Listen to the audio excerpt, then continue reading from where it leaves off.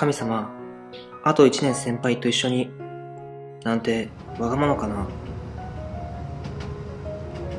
先輩また笑ってる。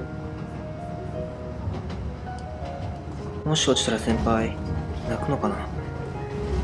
先輩に悲しい顔、させたくないな。ごめん神様。やっぱさっきのなし。俺、頑張るから。だから。先輩が合格できますように。一緒の大学へ行けますように。